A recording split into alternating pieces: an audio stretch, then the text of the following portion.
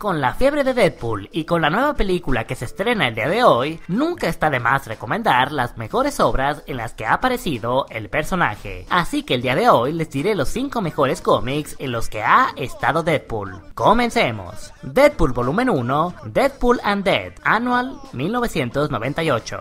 A Kiss, A Curse, A Cure. Aunque Deadpool ha existido desde 1991, si hay que buscar en qué punto de su historia el cruel y despiadado mercenario comenzó a volverse irreverente y dado a romper la cuarta pared tanto para hablar directamente con el lector como para dejarle en claro que sabía que era un personaje de cómic, su primera serie regular sería el punto de partida. Aquí se nos presenta la primera y más consistente versión de su origen en el anual de 1998, en donde Wade Wilson, un mercenario con cáncer, decide enlistar en el programa canadiense Weapon X para tratar de curarse en un experimento en el que le transferirían el factor curativo de Wolverine. Solo que las cosas no salen como esperaban y en lugar de curarlo se quedó con un estado donde las células de su cuerpo se dañan y regeneran constantemente, incluyendo las células de su cerebro, razón por la que dependiendo del escritor es la causa de su demencia o momentos de lucidez. Cable and Deadpool del número 1 al número 6. If looks could kill. ¿Qué pasa cuando el pesimista, gruñón y mentalmente inestable, otrora mesía de los mutantes, Cable, se ve envuelto en el lado opuesto de un conflicto que involucra un culto de hombres azules que planea liberar un virus que altera físicamente a las personas a escala global con el irreverente, fastidioso y para su desgracia virtualmente inmortal Deadpool, solo para terminar del mismo lado que él. Por ese tipo de situaciones que solo se dan en los cómics. Acción, humor y violencia. Mucha violencia. Así comienza el primer arco de Cable y Deadpool. y Flux Could Kill, que nos da una introducción a la dinámica de dos personajes que no podrían ser más opuestos, y que llevarían a lo largo de una de las series de Deadpool de más larga duración con 50 números.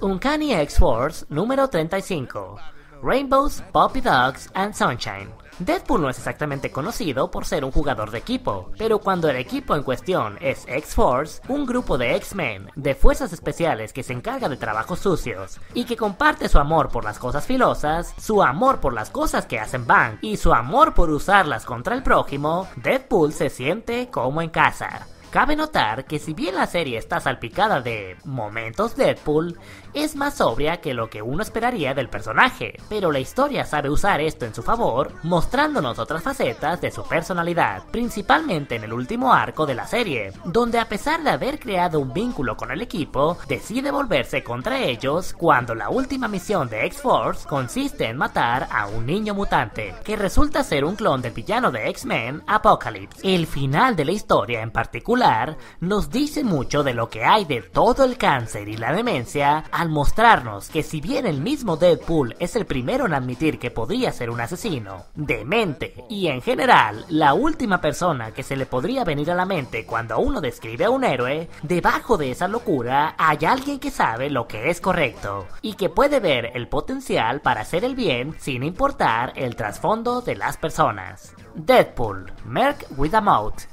cuando la evidencia de investigación AIM descubre que Hydra envió un equipo de científicos a la Tierra Salvaje con el propósito de buscar toxinas que podrían ser utilizadas con la elaboración de armas biológicas y que encontraron algo grande, se deciden en reclutar a Deadpool para asegurar y recuperar dicha arma, que resulta ser la cabeza zombificada del Deadpool del universo Marvel Zombies, o Headpool. A lo largo de 13 números de la serie, acompañamos a Deadpool en su viaje para devolver a Deadpool a su propio universo, mientras lucha contra los agentes de Hydra, Deadpools de tierras paralelas y todo un universo lleno de zombies. Si alguien quiere ver a Deadpool contra un tiranosaurio zombie, esta es la lectura obligada.